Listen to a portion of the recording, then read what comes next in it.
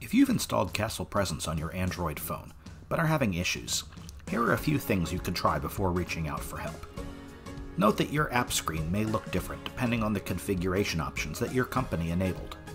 First, make sure you have the latest version of KastlePresence from the Google Play Store. Tap the three dashes in the upper right corner of the app, and tap About from the menu.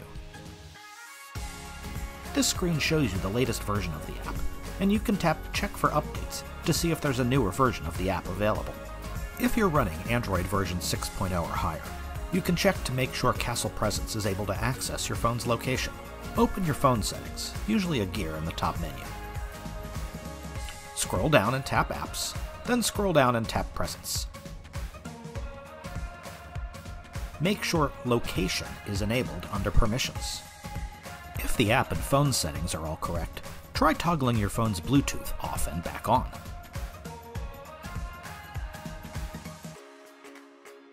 Lastly, if KastlePresence still isn't finding card readers or doors, try doing a manual scan inside the application. Tap the three dashes in the upper right corner of the app and tap Settings from the menu. Under Update Readers, tap the refresh icon. Hopefully these tips fixed your problem. If KastlePresence still isn't operating properly, please help us troubleshoot by performing the following steps. First, go stand near a door or card reader to which you should have access.